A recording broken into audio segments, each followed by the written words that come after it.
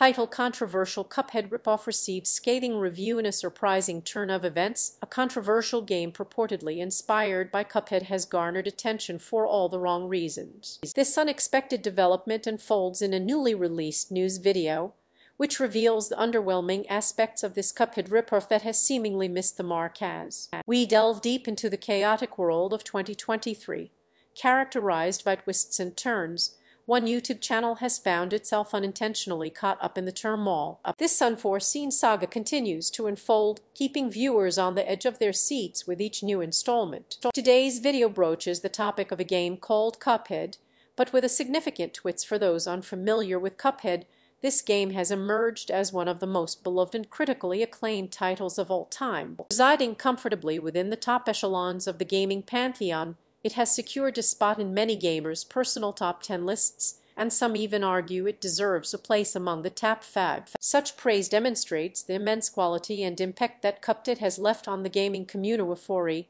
The recent release of an alleged Cupheadindress game raises eyebrows, promising to capture the magic of the original this newcomer aims to offer an experience reminiscent of Cuphead's in unparalleled gameplay and nostalgic art style. Anticipation runs high as gamers eagerly await a promising venture into a similar world of wonder and challenge. Unfortunately, the news video takes an unfortunate turn as it scrutinizes the alleged Cuphead ripoff. The game fails to deliver on its promises, leaving players feeling underwhelmed and disappointed, blatantly missing the mark this imitation pales in comparison to its highly esteemed source of Insupriam spading a wide array of reactions within the gaming community.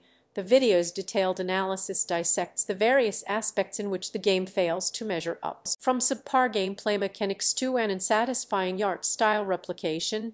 The reviewers leave no stone unturned in their critique. Evidently, the game misses the mark on what made Cuphead so remarkable in the first place. This unexpected turn of events highlights the broader issue of an anorganetically within the gaming industry, where copycats attempt to capitalize on the success of established titles. While inspiration can lead to great achievements, it also comes with the responsibility of adding a unique touch that makes the imitation stand on its own merit. This ripoff serves as a cautionary tale, underlining the importance of originality and innovation. A sour journey through 2020 twists and turns continues.